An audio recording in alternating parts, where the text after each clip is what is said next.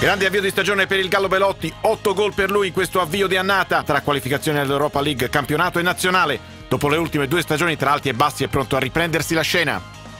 Le parole di Roberto Mancini, Chiesa deve ritrovare tranquillità e concentrarsi sul lavoro, hanno riaperto il caso del giocatore Viola. La Fiorentina vuole blindarlo con un rinnovo significativo, da capire la volontà del calciatore. Non solo Mkhitaryan, anche Smalling sogna l'Europa League. L'ho già vinta e voglio conquistarla di nuovo, ha detto, sottolineando anche come sia rimasto colpito da Fonseca. Buonasera a tutti, ben ritrovati al classico appuntamento del TMV News del sabato. Parleremo di alcune squadre, ma di qualche giocatore in particolare e lo faremo come sempre, come ogni sabato, con Aldo Firicano. Ciao Aldo.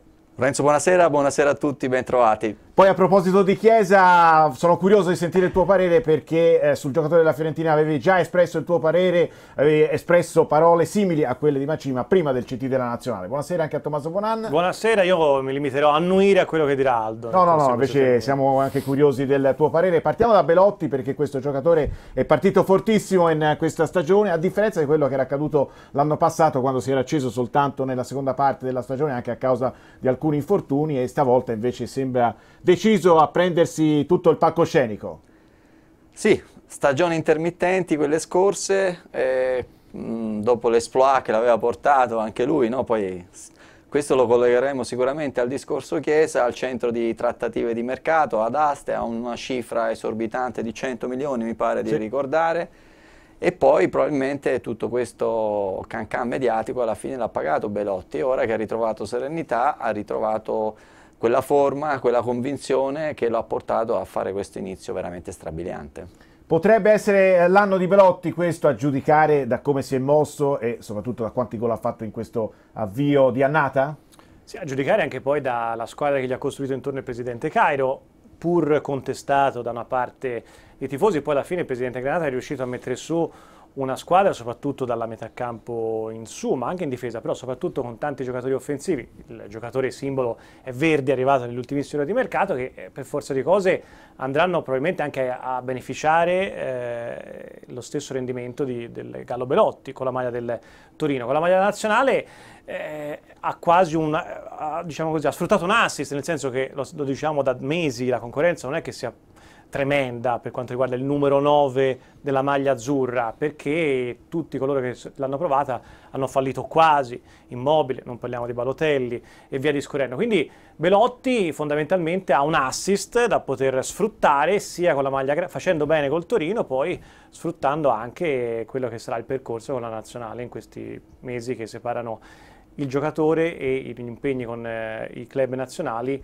eh, prima della sosta di Natale, che insomma il primo, sarà il tempo del primo bilancio. Diciamo. Aldo, la nazionale quindi ha trovato il suo centravanti, è Belotti il giocatore a cui aggrapparsi in avanti? Un po' prematuro per dirlo, ma sicuramente in questo momento è il punto di riferimento. Son, concordo con l'analisi eh, che la, la concorrenza in questo momento è, è, minima. è, minima. per il numero 9, abbiamo bisogno di avere grandi attaccanti, grandi bombe, peraltro nella nostra storia anche più recente li abbiamo sempre avuti, e però questo rapporto società nazionale spesso non va di pari passo, uno su tutto immobile per restare proprio all'attualità, Mancini per eh, tornare invece a tempi passati, quindi non sempre il giocatore che riesce a far benissimo nel club poi fa bene in nazionale.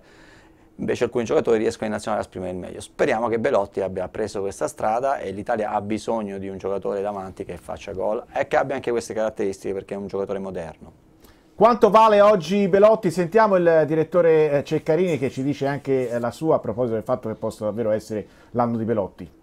Me lo auguro perché Belotti è sicuramente un grande giocatore, un grande attaccante, insomma ha avuto un momento di difficoltà, complice anche l'infortunio, però io devo dirti che non si può discutere il valore del Gallo Belotti, poi soprattutto in questo anno che porterà all'Europeo, io credo che ci sia un'ulteriore spinta che lui ha nel convincere del suo valore tutti coloro che in questo momento sanno quanto eh, sia forte Belotti, però ecco, eh, magari se c'è anche un piccolo dubbio, credo che sia partito molto bene anche eh, con la nazionale, insomma col Torino sta facendo bene, ha fatto bene anche eh, nel nella zona eh, del preliminare eh, di Europa League, eh, quindi è un Belotti che secondo me quest'anno sarà un grande protagonista e l'Italia ha bisogno di un attaccante con queste caratteristiche perché poi lui comunque segna ma si mette a disposizione della squadra, quindi è sicuramente un valore aggiunto in più per Mancini per quanto riguarda la nazionale in vista del prossimo europeo, ma anche per il Torino perché insomma lui è un trascinatore. Qual è oggi il valore di mercato di Belotti?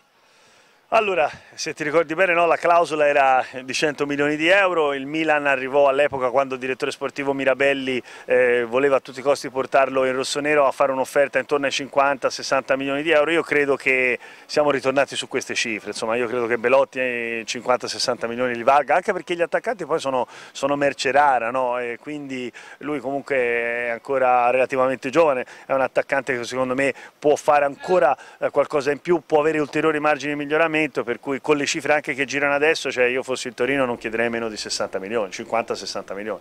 Aldo, 50-60 milioni è la cifra giusta per Belotti in questo momento?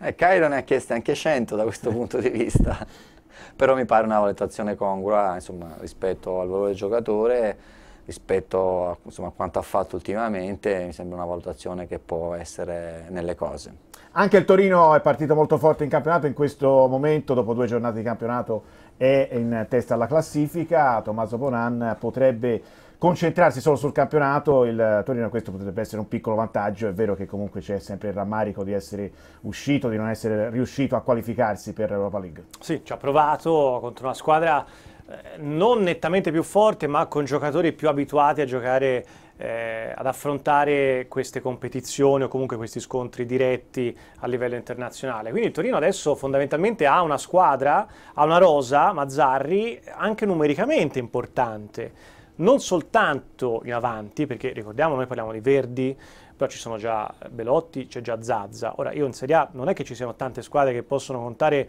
eh, su due giocatori così importanti, due numeri 9 così importanti. È stato aggiunto Verdi e deve rientrare Iago Falche, che l'anno scorso in termini di assist ma anche di gol eh, insomma, è, stato, è stato importante.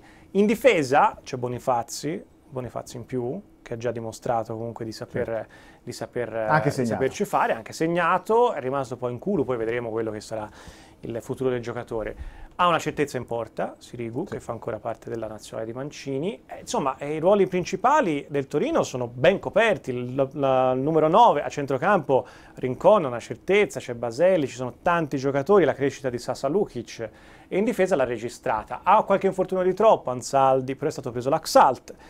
Eh, quindi vedete che il Torino fondamentalmente ha ruoli coperti, anche le alternative ce l'avrebbe una rosa completa anche per affrontare un'altra competizione. Non ce l'ha, parte la Coppa Italia, quindi il Torino attenzione perché potrebbe veramente essere una, non rivelazione, ma non dico un Atalanta dell'anno scorso, di due anni Beh, fa, però, però potrebbe migliorare rispetto all'anno scorso. potrebbe posizione. molto migliorare e aggiungo su Belotti che se guardiamo poi le prime squadre della nostra Serie A, guardiamo i nove delle squadre, la Juventus, le prime tre dell'anno scorso, la Juventus ora ha il 9 Higuain, eh, l'Inter ha il 9 nuovo Lukaku, eh, il Napoli ha un 9 Milik, poi ha Mertens, sono tutti giocatori stranieri. La prima squadra, certo. le prime due squadre sono la Lazio e il Torino con i 9 italiani, Immobile e Belotti, per l'appunto i due attaccanti che giocano, si alternano in nazionale. Quindi il Torino ci pensi bene prima di dar via Belotti e se proprio lo deve dare via, rispondendo alla domanda prima sui soldi, secondo me meno di 50-60 è impossibile.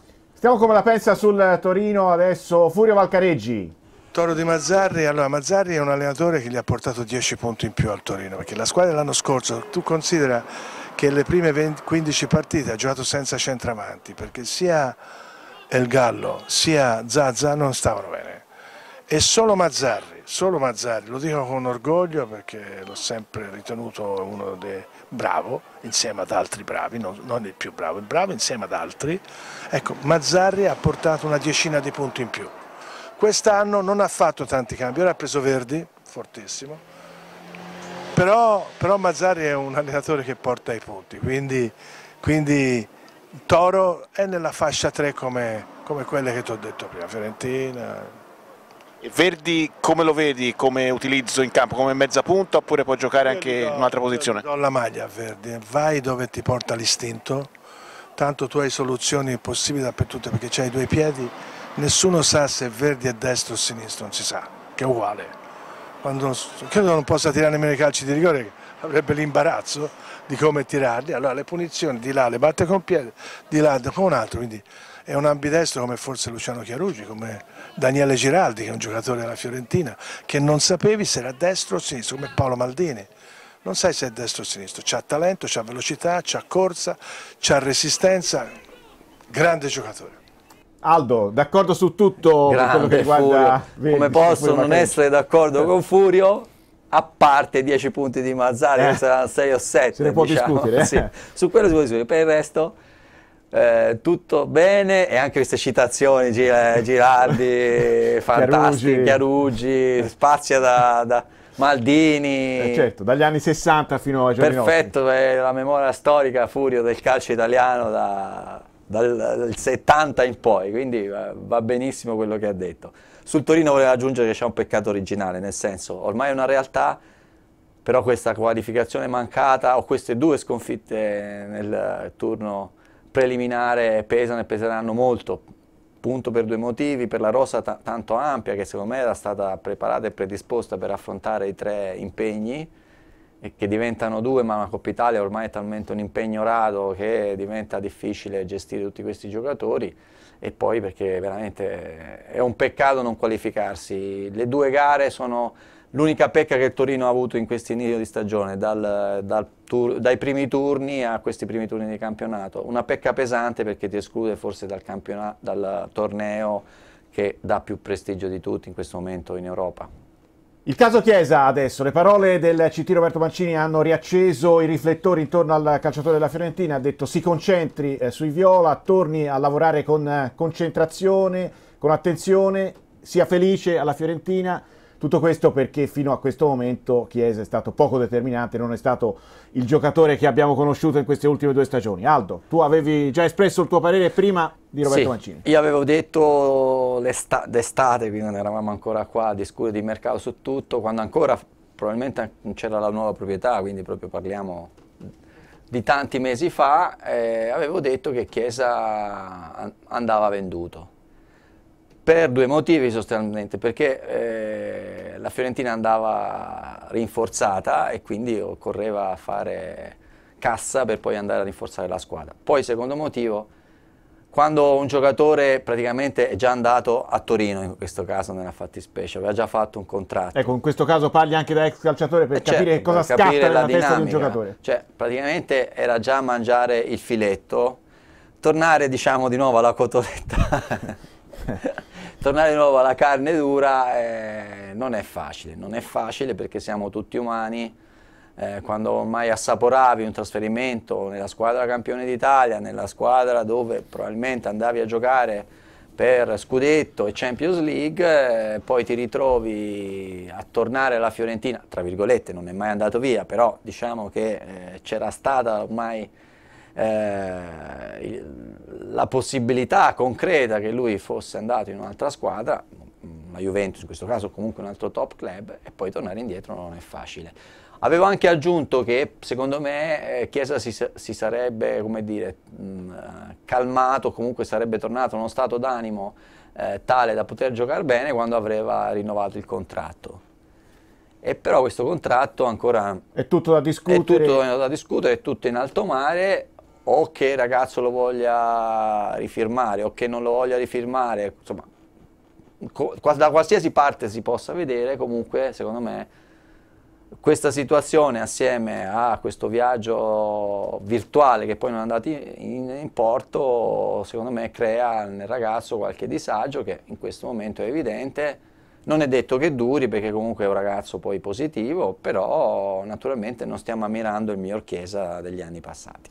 Sentiamo proprio anche sulle possibilità di rinnovo con la Fiorentina di Chiesa il parere del direttore Ceccarini. Io credo che lui eh, adesso con il mercato chiuso ritroverà la tranquillità totale eh, e poi si siederà a un tavolo con la Fiorentina perché la Fiorentina gli proporrà il, no, il rinnovo del contratto a cifre penso importanti eh, vicino a quelle di Ribery perché insomma se Ribery guadagna sui 4 più o meno insomma la Fiorentina per Chiesa che Commisso ha detto eh, essere al centro no, del villaggio e che sarà l'uomo sul quale, il giocatore sul quale costruire la Fiorentina nel futuro deve avere un trattamento uguale no? da questo punto di vista. Ecco, l'unico l'unico pensiero, l'unica incertezza che abbiamo adesso è eh, che farà Chiesa, cioè rinnoverà subito, ci saranno degli nuovi incontri, sarà convinto, non sarà convinto del progetto, questo non lo possiamo sapere, però è chiaro che eh, saranno mesi importanti perché non penso che si arriverà a giugno in questa situazione, cioè con Chiesa, con questo contratto e con la scadenza al 2022, per cui cominceranno a breve